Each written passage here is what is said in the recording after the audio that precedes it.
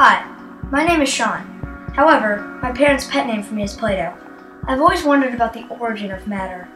Once I took an old golf ball and broke it apart. I was surprised to see that there were tightly woven rubber bands inside. This got me to thinking about what made up rubber bands. So I went to my father and mother and they suggested that I look into the subject of physics, but more specifically into the subject of quantum mechanics, which is the study of how very small things behave. Richard Feynman, a very famous scientist who worked on developing the first atom bomb, was once asked if he could try to explain all of physics in one simple sentence. His reply was pretty funny but quite profound. Things are made of littler things that jiggle.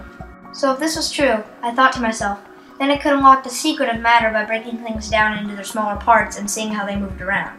When I took apart a rubber band, I found out they were comprised of even smaller lines of rubber, but when I went and pulled those apart, all I got were little pieces. I couldn't go any farther with my bare hands, so I got my microscope out, and when I got the piece positioned just right, I could see that it was made of smaller thread-like material. What is that stuff? I pondered. My microscope was pretty limited, so I couldn't break down the rubber much farther. I was stuck in sort of a cul-de-sac, similar to the street I live on, which has a dead end to it. What to do? I then realized I had to learn from the great physicists in the past who have explored this subject in depth. This is when I learned about the early Greek philosopher Democritus, who suggested that all things were made up of little tiny balls which he called atoms, which he thought were uncuttable.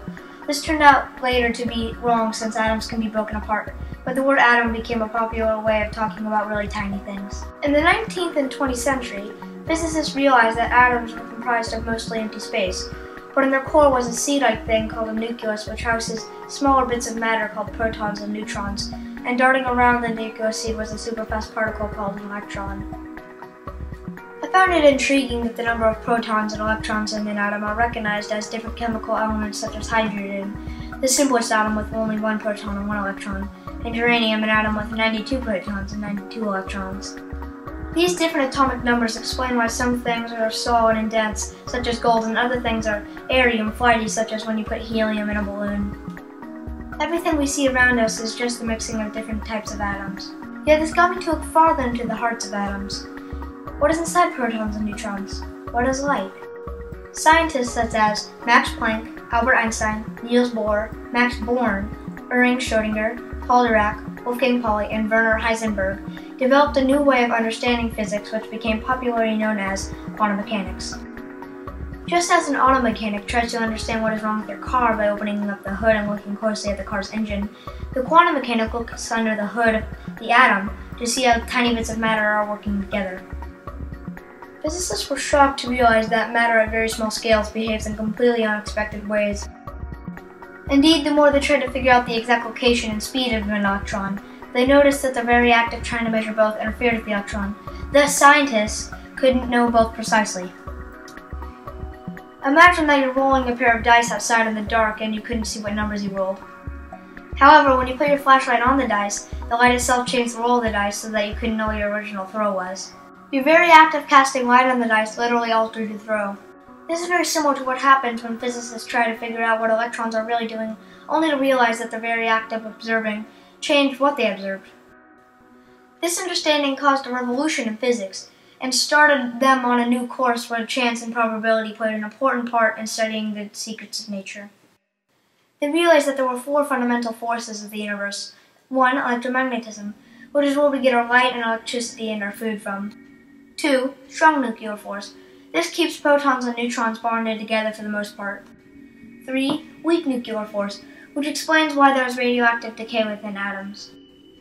Four, gravity, which is the universal attractive force, which explains why the Earth orbits the Sun and why I can't jump very high when I play basketball.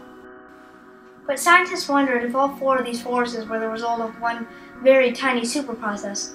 They called this quest a GUT, which stands for a Grand Unified Theory, or TOE, a theory of everything. This made me laugh thinking that the hidden mystery of the universe wasn't a toe or a gut. Scientists realized that to find out hidden parts of atoms, they had to investigate even smaller bits. Well, in order to do this, they had to force protons to break apart so they could see what they contained. So scientists built big colliders where they had protons zipping around near the speed of light in a large circular track until they hit each other and broke apart. This reminded me of when I would occasionally take a shell or a rock at the beach and try to open it apart and see what's inside of it. The secret of the universe is in the tiniest bits of matter. In the 1980s, a new theory was developed called string theory, which essentially claims that everything in the universe is made out of very small loops of matter, much, much smaller than anything we can see in atoms. These strings vibrate in various ways and thus cause various forms of matter to emerge. All the elementary particles that make up our universe are like musical notes, which are caused by infinitesimally small loops of guitar-like string, sometimes open and sometimes closed. Strike a different vibration of one of these strings and a different physical property emerges. These strings, however, are so small that nobody can see them, not even with the world's most powerful microscope. This is why scientists built a Large Hadron Collider in Switzerland, which is pretty deep underground so they could smash protons against each other and try to recreate the initial conditions shortly after the Big Bang. The Big Bang is when our universe started 13.7 billion years ago. Everything back then was collapsed into a tiny little seed, including all the stars and all the planets. The single point was much smaller than a penny, but it was amazingly heavy with all that packed energy and matter, so when it exploded, it was called a Big Bang. In this way, scientists realized that if they could understand the very small, they could also unlock the secrets of the very large, since at the beginning of time, everything came from the tiniest of seeds. One of the most interesting aspects of string theory is that there may be more dimensions than we presently see. We know the four dimensions, length, width, depth, and time, but string theory says that there may be 11 dimensions which are curled up so small that we can't access them. I couldn't visualize this at all, but Brian Greene, the famous professor of physics at Columbia University, in a film series gave a good illustration of it. He pointed to a lawn and said that if you were an ant, the blades of grass would seem like trees, but if you were an airplane looking down at the same lawn, it would look flat and dimensionless. One of the coolest ideas being suggested by science is that the universe we live in may be only one of trillions of other universes. They have called this the multiverse. Apparently, all of these universes may result from slight changes in vibrations of the extraordinarily tiny strings of energy or matter, just as a few chord changes can produce a new song. The problem with string theory is that it hasn't been yet proven by science. However, scientists have proposed a number of experiments, including some connected to the Large Hadron Collider, which will be able to demonstrate whether string theory is true or not. Because string theory is open to being tested, it is not simply philosophy or wishful thinking. I never realized that a simple golf ball when broken down could be so complex when it's viewed from smaller and smaller scales. My dad suggested that a quote from the poet Tennyson actually summarizes my project perfectly. If we could but understand a single flower, we would know who we are and what the world is. I found it amusing when I thought of how my golf ball was made of smaller rubber bands, which when squished up appeared solid. This got me to thinking about string theory in a different way. Maybe the universe, like my golf ball, is really just made of tiny rubber bands that we cannot see.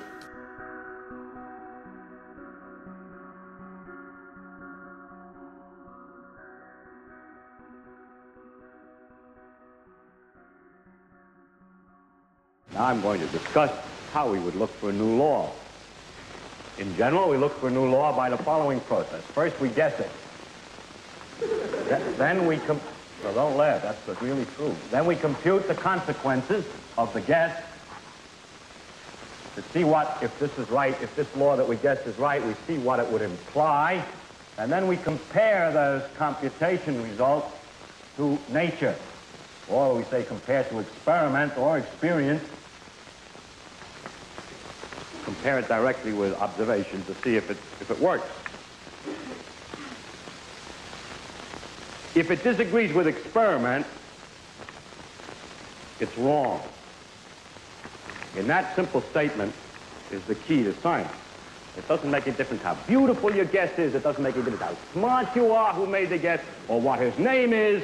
If it disagrees with experiment, it's wrong. That's all there is to it.